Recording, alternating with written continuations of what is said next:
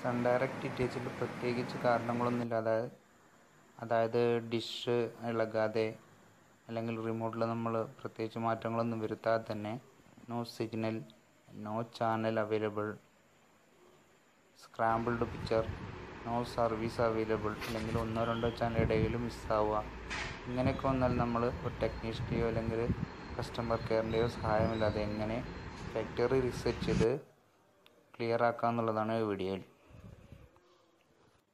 ഇവയിൽ ഏതെങ്കിലും ഒന്ന് നമ്മുടെ സ്ക്രീനിൽ എഴുതി കാണിക്കുന്നതാണെങ്കിൽ ആദ്യമായി നമ്മൾ സെറ്റ് ബോക്സിലേക്ക് സിഗ്നൽ എത്തുന്നുണ്ടോ എന്നറിയുന്നതിന് വേണ്ടി മെനു ബട്ടൺ അമർത്തിയതിന് ശേഷം ഇൻസ്റ്റാളേഷൻ എന്ന ഭാഗത്തു നിന്നും മാനുവൽ സ്കാൻ എടുത്ത് ഓക്കെ അടിക്കുമ്പോൾ പാസ്വേഡ് ചോദിക്കും. ഇവിടെ നാല് പൂജ്യം എന്റർ ചെയ്യുക. ഇപ്പോൾ നിങ്ങൾക്ക് സിഗ്നൽ പ്രോപ്പറായി മനസ്സിലാക്കാം. സിഗ്നൽ ആൻഡ് ക്വാളിറ്റി ലെവൽ സ്ക്രീനിൽ തെളിഞ്ഞു വരും ഇങ്ങനെ സിഗ്നൽ കൃത്യമായി വരുന്നുണ്ടെങ്കിൽ മാത്രം നമ്മൾ ഫാക്ടറി റീസെറ്റിലേക്ക് പോവുക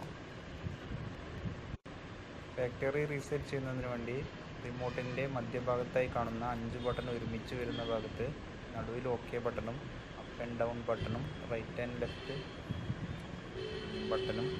ഇതിലേതെങ്കിലും ഒരെണ്ണം അങ്ങോട്ടോ ഇങ്ങോട്ടോ അഡ്ജസ്റ്റ് ചെയ്യുമ്പോൾ നിങ്ങൾക്ക് ഫാക്ടറി റീസെറ്റ് എന്ന ഭാഗം കാണാം.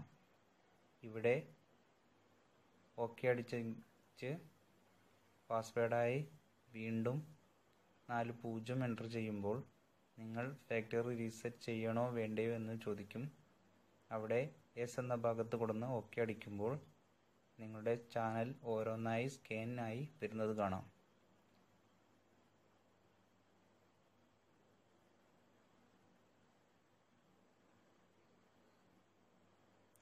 അതിനുശേഷം സ്ക്രീൻ കുറച്ചു നേരം ഓഫായതിനു ശേഷം ഓട്ടോമാറ്റിക്കായി ഓണായി വരികയും നിങ്ങളുടെ പ്രശ്നം സോൾവ് ആവുകയും ചെയ്യും.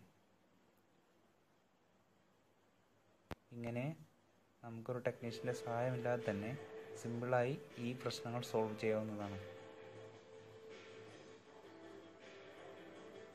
എന്നിട്ടും ചാനലൊന്നും വരുന്നില്ലെങ്കിൽ സെറ്റോ ബോക്സിന് എന്തെങ്കിലും കംപ്ലൈന്റോ അല്ലെങ്കിൽ കേബിളിൽ എന്തെങ്കിലും കംപ്ലൈന്റോ ഉണ്ടാകാം.